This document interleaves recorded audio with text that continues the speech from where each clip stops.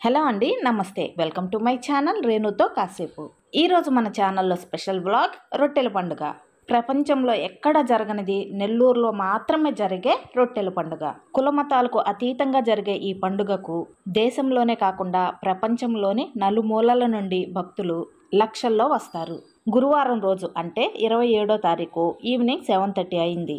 మేము అనుకోకుండా అటే వెళ్తూ జైంట్ వీల్ చూసి ఇంకా బోల్డ్ అనే వెహికల్స్ చూసి ఈ షాప్స్ చూసి ఇరవై తొమ్మిది నుంచి కదా రొట్టెల పండగ అప్పుడే ఇంతమంది ఉన్నారా అనుకుని మేము కూడా అనుకోకుండా లోపలికి వెళ్ళి షూట్ చేసేసాం. అక్కడ కనుక్కుంటే ఇంకా రెండు రోజుల ముందే వస్తున్నారంట. అంటే దాదాపు పదిహేను రోజులు జరుగుతుందండి ఈ రొట్టెల పండుగ. ఈ బారా షాహిద్ దర్గాకి రెండు ఎంట్రన్స్లు ఉంటాయి ఇది ఒకటి. లైటింగ్కి అటుపక్క ఇటుపక్క పెద్ద పెద్ద గోడల్లాగా మినార్లు కనిపిస్తున్నాయి కదా అవి ఈ మధ్య కడుతున్నవి. ఇంకా కంప్లీట్ అవ్వలేదు. ఇప్పుడు మనం దర్గా కాంపౌండ్లోకి ఎంటర్ అయిపోయాం.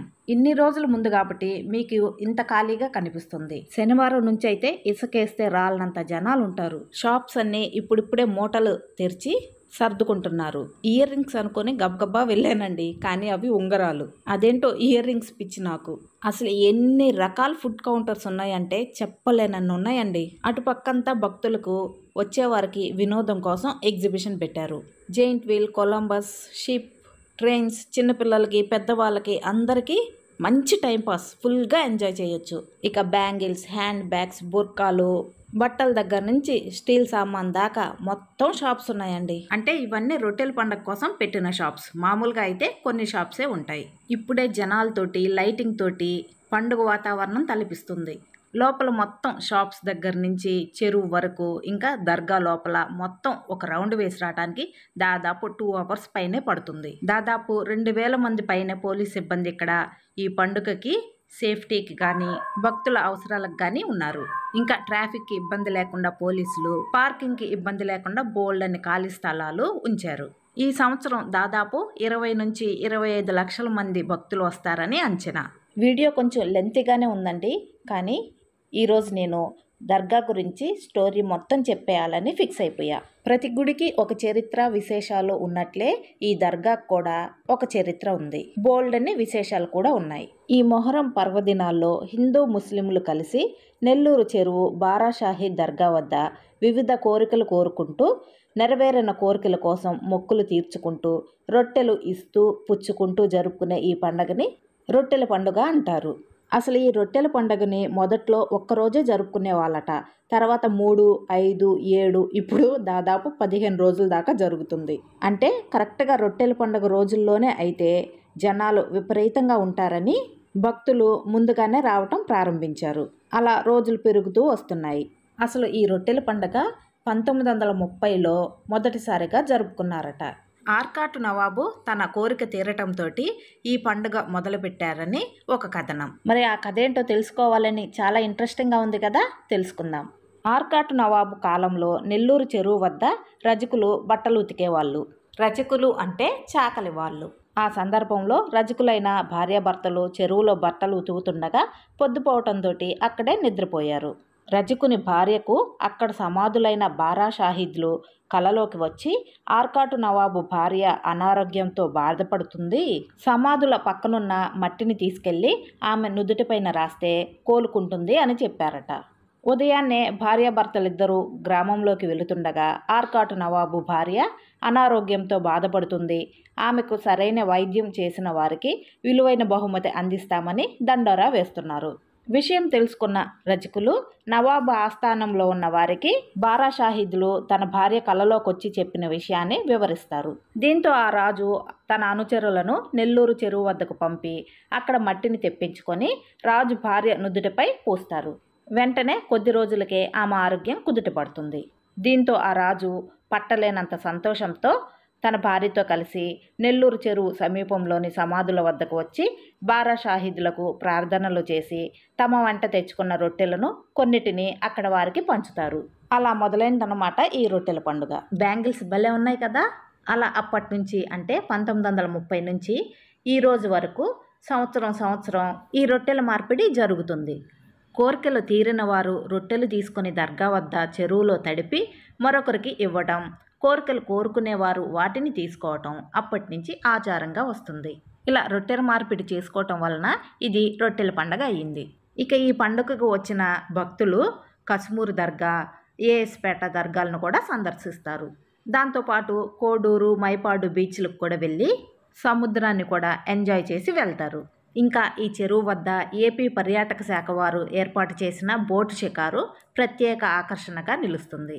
ఈ రొట్టెల పండుగ జరిగే సమయంలో బారాషాహిద్ దర్గాలో గంధ మహోత్సవం కూడా జరుగుతుంది. ఈ గంధ మహోత్సవానికి దేశ నలుమూలల నుండి లక్షలాది భక్తులు హాజరవుతారు. చాలామంది భక్తులు రొట్టెలు మార్పిడి చేసుకున్నాక రాత్రికి ఇక్కడే నిద్ర చేస్తారు. నిద్ర చేయటం కోసం ఇక్కడ షెల్టర్స్ ఏర్పాటు చేస్తారు. ఇంకా పనులు జరుగుతూనే ఉన్నాయి. భక్తులు వచ్చేస్తున్నారు. ఇక్కడ స్టే చేయాలి అనుకునే వాళ్ళ కోసం రూమ్స్ కూడా కడుతున్నారు. నెక్స్ట్ ఇయర్ నుంచి అందుబాటులోకి వస్తాయి. ఏమైనా ఇంతమంది జనం ఈ పండుగ వాతావరణం ఈ లైటింగ్లు ఈ షాప్స్ ఫుడ్ కౌంటర్స్ బొమ్మలు ఇవన్నీ చూస్తుంటే మనసుకి ఎంతో రిలాక్సింగ్గా అనిపిస్తుంది కదా? పెద్దవాళ్ళు కూడా చిన్న పిల్లలైపోయే ఆటలు హిందూ ముస్లిం అని తేడా లేకుండా అందరూ కలిసి తిరగటం చాలా బాగుంటుంది కదా? ఇక ఈ పండక్కి చెరుకులు దిగుతాయండి. లారీలు లారీలు దిగుతాయి. వెళ్ళిన ప్రతి ఒక్కరూ చెరుకులు బోల్డ్ అని కొనుక్కొని భుజాన వేసుకొని తింటూ వెళ్తుంటారు. అక్కడ కళ్ళజోడ్లు కనిపిస్తే సరదాగా ట్రై చేశా. ఇవి షెల్టర్స్. ఎక్కడ ప్లేస్ దొరికితే అక్కడ దుప్పట్లో పరుచుకొని పడుకుంటారు. ఇక్కడ ఇంకా ట్యాప్స్ కడుతూనే ఉన్నారు. వచ్చిన వారి కోసం మొబైల్ టాయిలెట్స్ కూడా అందుబాటులోనే ఉంటాయి. ఇంకొక విషయం ఏంటంటే ప్రతి సంవత్సరం రొట్టెల పండుగప్పుడు వర్షం తప్పకుండా పడుతుంది. ఇలా చూసుకుంటూ చూసుకుంటూ చెరువు దగ్గరకు వెళ్ళేలోపు మనం బారా షాహిద్ గురించి కూడా తెలుసుకుందాం. హిందీలో బారా అంటే పన్నెండు అని అర్థం కదా? ఇక్కడ ఉన్న పన్నెండు సమాధుల వల్ల బారా షాహిద్ దర్గా అని పేరు వచ్చింది ఇంతకు ముందైతే రోటీలు అదేనండి చపాతీలు ఇంటికాడ చేసుకొని తీసుకెళ్ళేవాళ్ళు ఇప్పుడు అక్కడే అందుబాటులో ఉంటున్నాయి. అక్కడే వందల మంది రొట్టెలు చేసి అమ్ముతుంటారు. ఇలా స్ట్రైట్గా కిందకి నడుచుకుంటూ పోతే చెరువు వచ్చేస్తుంది. ఇలా మంచాల మీద పెట్టి రొట్టెలు అమ్మటమే కాకుండా మీ దగ్గరకే వచ్చి రొట్టెలు కావాలా అని అడుగుతుంటారు. ఇలా పాడైన చోటంతా అతుకులు వేశారండి. కొంచెం జాగ్రత్తగా వెళ్ళాలి.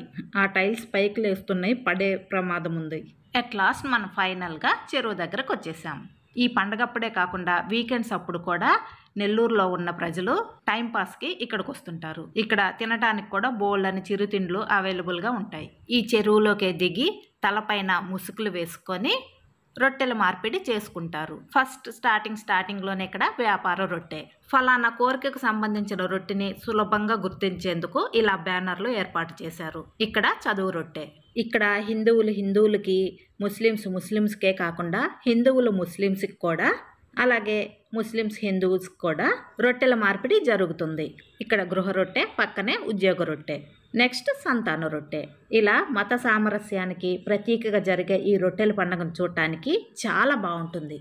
ఆరోగ్య రొట్టె. ఆరోగ్య రొట్టె దగ్గర మాత్రం జనాలు ఉన్నారు రొట్టెల మార్పిడి కూడా జరుగుతుంది. అలాగే విద్యా రొట్టి పెళ్ళి రొట్టి సౌభాగ్య రొట్టి సంతాన రొట్టి వేసా రొట్టె ఇలా రకరకాల రొట్టెలు ఉంటాయి. వారి కోరికను సంబంధించిన రొట్టె ఈ సంవత్సరం తీసుకుంటే తిరిగి మరుసటి సంవత్సరం ఒకటికి రెండు రొట్టెలు చొప్పున ఈ స్వర్ణాల చెరువు వద్ద భక్తులు పంచుతారు. అంటే రొట్టెలు వదులుతారు మిగిలినవి చెరువులో వదిలేస్తారు. ఇంతకుముందు మేము చిన్నప్పుడైతే మీ దగ్గర ఏం రొట్టె ఉంది ఏం రొట్టె ఉంది అని అందరిని అడుగుతూ వెళ్ళేవాళ్ళు. ఇప్పుడు ఈ బ్యానర్లు కట్టడం వల్ల సులువైపోయింది. తీసుకున్న రొట్టెని వాళ్ళే తినొచ్చు లేదా కొంచెం కొంచెం ఇంట్లో అందరూ తినొచ్చు పక్కన వాళ్ళకు కూడా పెట్టొచ్చు. ఇక్కడ చూసారా? విదేశీయాన రొట్టె. ఇక్కడ కూడా చాలామందే ఉన్నారు. లాస్ట్లో ప్రమోషన్ రొట్టె కూడా ఉంది. ఇవన్నీ చూశాక దర్గా దగ్గరికి వెళ్దాం. ఇక ఆ బారా షాహిద్ దర్గా స్టోరీ చెప్పుకుందామా? ఆ పన్నెండు వీరుల సమాధులే ఇక్కడ దర్గాలో దర్శనమిస్తాయి. దాదాపు పన్నెండు వందల సంవత్సరాల క్రితం ఇస్లాం మత ప్రచారం కోసం సౌదీ నుండి మక్కా షరీఫ్ నుంచి పన్నెండు మంది తరక్మాన్లు అనబడే వీరులు సంచరిస్తూ భారతదేశానికి వచ్చారు. ఆ సమయంలో కర్ణాటకలో హైదర్ అలీ పరిపాలన నెల్లూరులో నవాబుల పరిపాలన ఉండేది. వారు దేశంలో పర్యటిస్తున్నప్పుడు నెల్లూరు జిల్లా కొడవలూరు మండలం గండవరం చెరువు వద్ద వారికి ఇస్లామేతరులకు మధ్య యుద్ధం జరిగింది. ఈ యుద్ధంలో తరక్మాన్లు ప్రాణత్యాగం చేశారు. అంటే యుద్ధంలో చనిపోయారు. అలా ప్రాణత్యాగం చేసిన ఈ పన్నెండు మంది బారా షాహీద్ల మొండాలను వారు వాహనములుగా ఉపయోగించిన వారి గుర్రాలే తీసుకువచ్చి నెల్లూరులోని దర్గామిట్ట చెరువు వద్ద పడేశాయి. ఆ మొండాలు భూమిలో కలిసి వారు అక్కడే సమాధులయ్యారు. ఈ బూంది మామూలు అప్పుడు దొరకదండి. రొట్టెల పండగప్పుడు మాత్రమే దొరుకుతుంది. తర్వాత భక్తులు ఆ ప్రదేశంలోనే వారికి సమాధులు వరుసగా నిర్మించి ఆరాధించటం మొదలుపెట్టారు. గంధ మహోత్సవం దీని లోపలే జరుగుతుంది. ఇప్పుడు మనం దీని పక్కనే ఉన్న బారా షాహిద్ దర్గాలోకి వెళ్దాం. చెప్పులు బయట వదిలేసి లోపలికి వెళ్ళాలి. లోపలికి వెళ్ళగానే మనకి ఒక పులి దర్శనమిస్తుంది. ఒకప్పుడు రోజు ఈ పులి బారాషాహి దర్గాలోకి వచ్చి అంటే సాయంత్రం పూట వచ్చి తెల్లారి వెళ్ళేటప్పుడు తోకతోటి దర్గానంతా శుభ్రం చేసి వెళ్ళేదట. ఆ పులి జ్ఞాపకార్థంగా ఈ పులి గుహ నిర్మించారు. ఇవి రొట్టెల పండుగప్పుడు మాత్రమే దొరికే స్పెషల్ లడ్డూలు అంట లోపల ఉన్న ఆ పన్నెండు సమాధులు కాక బయట కూడా కొన్ని సమాధులు ఉంటాయి. ఇలా చూసుకుంటూ లోపలికి వెళ్ళాలి. ఈ బయట ఉన్న సమాధుల గురించి అయితే నా దగ్గర ఇన్ఫర్మేషన్ లేదు. ఇప్పుడు లోపలికి వెళ్ళి చూద్దాం. ఇటు మూడు అటు మూడు అవతల పక్క మూడు తర్వాత ఇంకొక మూడు. మొత్తం పన్నెండు ఉంటాయి. ఇప్పుడైతే ఖాళీగా ఉంది కానీ రేపటి నుంచి అయితే అస్సలు ఖాళీయే ఉండదు. సాంబ్రాన్ కడ్డీలు వెలిగించి ఇక్కడ పెడుతున్నారు. చాలా మంది వరుసగా గోడ పక్కన కూర్చొని ప్రార్థనలు చేస్తున్నారు. ఇది సమాధుల మధ్యలో ఒక బుల్లి చార్మినార్ లాంటిది ఉంది అందరూ అక్కడ దండం పెట్టుకుంటున్నారు. మేము కూడా వెళ్ళి దండం పెట్టుకున్నాం. మనం పంచినట్లే ఇక్కడ కూడా చాలామంది ప్రసాదాలు పంచుతున్నారు. బయట షాప్స్లో బూందీ కొని ఇక్కడ పంచుతున్నారు. వీళ్ళు కూడా సాంబ్రాన్ కడ్డీలు వెలిగిస్తున్నారు దీపాలు పెడుతున్నారు ప్రసాదాలు పెడుతున్నారు గంధం పెట్టుకుంటున్నారు.